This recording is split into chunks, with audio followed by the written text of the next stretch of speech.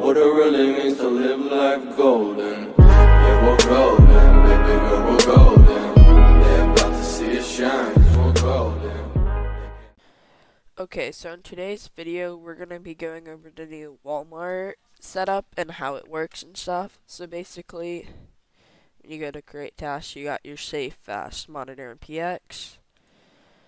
You can only create 5 PX tasks, but uh, you don't even need a solver anymore. It auto solves the PX, uh, the captchas for you, which is really nice.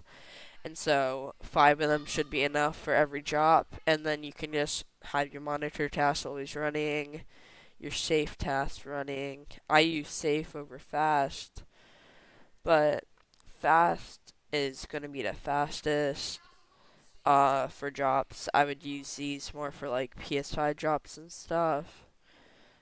Um, and safe is like what you'd probably want to run, what you do want to run 24/7, and it gets less captchas and stuff, so less PX cookies are used. And PX cookies will deplete really fast if you're running for cards and have a lot of tasks. So you do want to be using safe over fast. Fast is faster.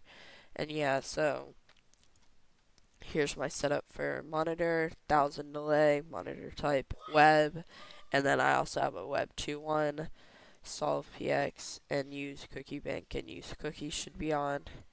User agent rotation is on switch, so basically it just always switches to proxy. Captcha provider doesn't matter.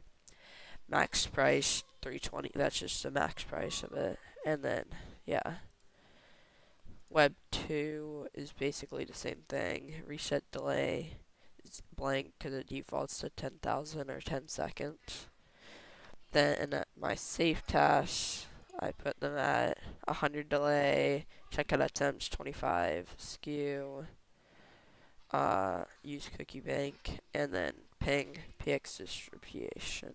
It's just ping, and then I don't run on an account, I run guest, and yeah, so these things generate, we'll be able to generate around 100 to 200 before they expire.